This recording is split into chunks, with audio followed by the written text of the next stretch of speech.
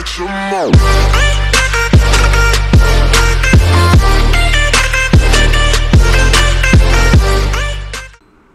All right, ladies and gentlemen, welcome to part 11 of the As-Built series. We're shooting two in the same day today. Um, what we're doing is we're actually doing the, the final two things that we have to do here. We have to do a roof plan uh, of that As-Built series and all the elevations, you know, are what we use to create that roof plan. And then in the next video that you see, it's not going to be one that I'm shooting now. It's going to be one that I put in that playlist to show you how to print all of this stuff and how to set up your sheets which are down here, um, or you know, I guess we can call them our layouts as well. Um, so you'll want to watch that one, you know, if you want to print it out to a plotter or anything like that. And that video has already been made, so I really don't need to make it again. Um, but this one is about how to create the roof plan. So here we go. All right. So what you're going to want to do is, you know, this is what we're making right here. Okay. What you want to do is you want to take your four different elevations, starting with the front down here. The back is going to be upside down, facing down. Um, this is the left side and this is the right side and they have to face in and then we can start building our roof plan. Okay, so you're going to want to copy all of these. Take the whole view, Control C is copy, Control V is paste, and we can put that down here. And then we're going to take, this is the right elevation, so same thing, copy paste. That one's going to get rotated that way facing in. I'm going to move this up a little bit okay because you don't want this lined up with any of that alright um, but you do want to line up these this one from right to left and this one from top to bottom. And we'll do that right now. So this one would be our left elevation copy paste rotate so that it's facing in so they're not lined up right now um, between this and this but we'll do that in a second and then the rear elevation same thing copy and paste. That one's got to be spun 180 degrees. Like so. Alright, so in order to line these up, what you're going to do is you're going to do X line. Stands for construction line. Um, hang on, I got a couple extra lines here. Okay. X line.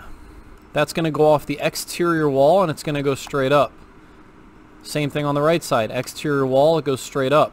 Now we know where to move this one in. By using the move tool I can slide off of the exterior wall and move that over on the green line until it hits those red lines and then leave the red lines there for now. By the way the red lines are a roof so you want to change um, your layer to be a roof and you can also do make layer make objects layer current if you wanted to and go click on one of my roof ones in the file like that okay um, so where are we at Now, going left to right, I like the position of this one, so I'm going to go... Actually, I don't. See how this is very close to that, so I'm going to slide that down just a little bit. Like that. Okay. Construction line. We're going to go off of the exterior wall of this one and off of the exterior wall of the other side.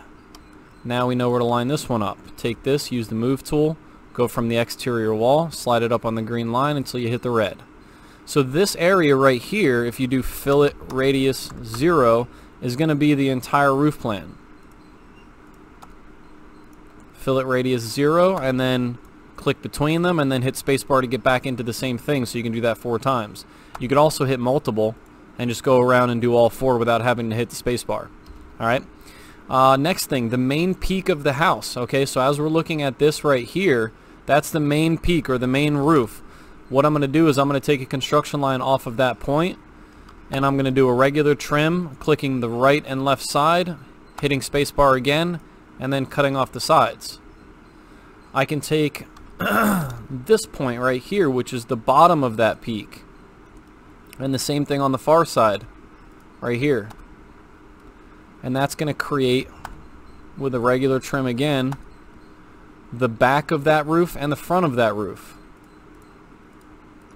Okay? Um, I can take this peak construction line again. We're gonna need the middle of it we're gonna need the right of it and we're gonna need the left of it. Now this one is that funny one that goes around the corner so we're gonna have a little fun right here with this one. Um, but just so you know you can now trim that and that because this room bumps out a little bit and then when we go to do this next one back here we can do the same thing construction line we're going to do there there, and there. And now, I don't want this to get confusing, so let's start to clean up a little bit here. So let's do, um, let's do, let's do trim. Let's click this line, and let's cut that off. Let's do a quick trim on this one, because this house bumps out right there, right? Um, let's do regular trim.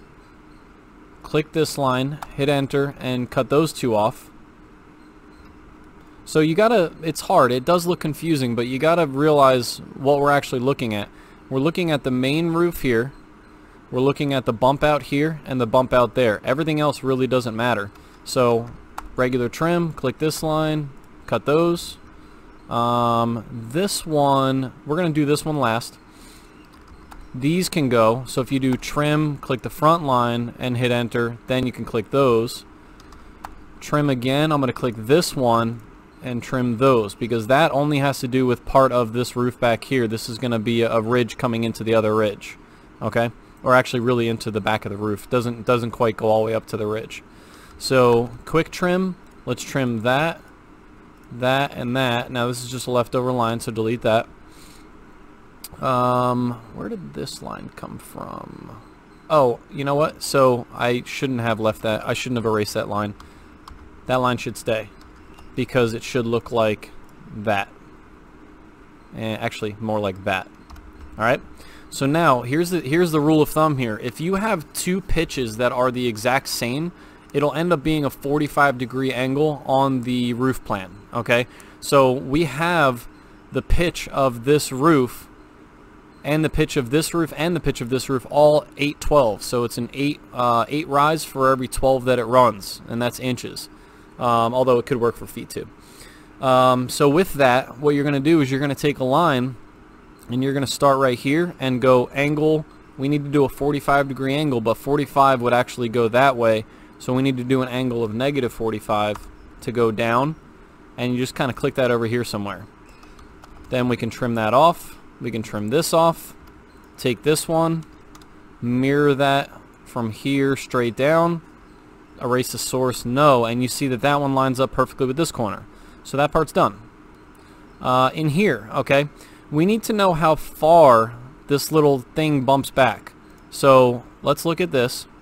It's going to look like this. This front one's going to come over until it hits the outside one, and then it's going to come in and just kind of die into that.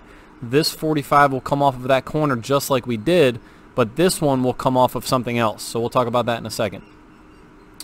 So this one can go to there, which means that we can do a trim off of this line, hit enter, and trim the bottom stuff off.